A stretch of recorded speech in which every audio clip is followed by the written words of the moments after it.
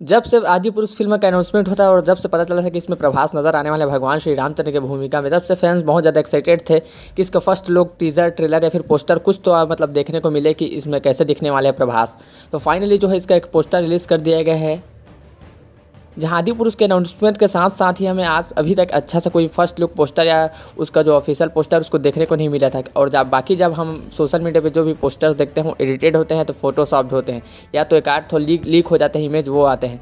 लेकिन फाइनली जो है आदि पुरुष के टीम वाला तो फाइनली जो है आदि पुरुष के टीम के द्वारा और प्रभास के द्वारा जो है, अपने सोशल मीडिया अकाउंट्स पे आदि पुरुष का जो ओरिजिनल जो पोस्टर है, उसको रिवील कर दिया गया है। तो आप अपनी स्क्रीन पर देख सकते हैं, जो पोस्टर है, यही जो है आदि पुरुष का फ़र्स्ट लुक ऑफिशियल पोस्टर है। जहाँ प्रभास को इस पोस्टर में आप तीर्थ कमान के साथ देख सकते हैं, जहाँ भगवान श्री रामचंद्र के भूमिका में प्रभास नज़र आने वाले हैं। जहाँ प्रभास का लुक आप देखेंगे तो वो मूछों के साथ नज़र आ रहे हैं और इनका जो लुक है वो सिमिलर टू बाहुबली दिख रहा है। क्योंकि आप देखिए भगवान श्री रामचंद्र का जो एक्यूरेट लुक होता है, वो या तो भगवान श्री रामचंद्र भगवा वस्त्र में नज़र आने चाहिए या तो वो जो है अपने राजा वाले भेष में नज़र आने चाहिए।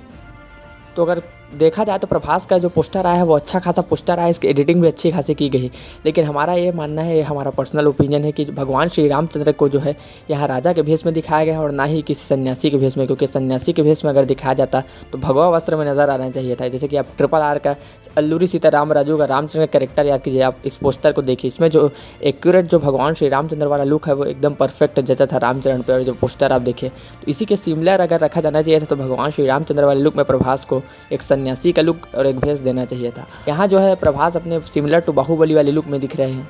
तो इस पोस्टर को देखते हुए हमें याद आता है कि जब अर्जुन जो है द्रौपदी स्वयंवर ब्राह्मण के भेष बना के जब मछली की आँखों पर निशाना साधते हुए जब नज़र आते हैं, उस उस फ़ोटो का जो इमेज आता है इसको देखते हुए।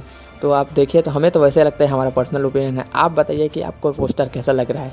क्योंकि भगवान श्री रामचंद्र की भूमिका प्रभास को देखना एक नया अनुभव होगा, आप सभी देखना ही चाहते हैं। और क्योंकि अब आप देखिए कि श्री रामचंद्र की भूमिका में फिर जो अल्लूरी सीताराम जो कैरेक्टर में जो ट्रिपल आर में रामचंद्र नज़र आए थे, उनको तो बहुत ज़्यादा पसंद किया गया था, वो परफेक्ट नज़र आए थे। तो देखते हैं कि प्रभास कैसे नज़र आते हैं।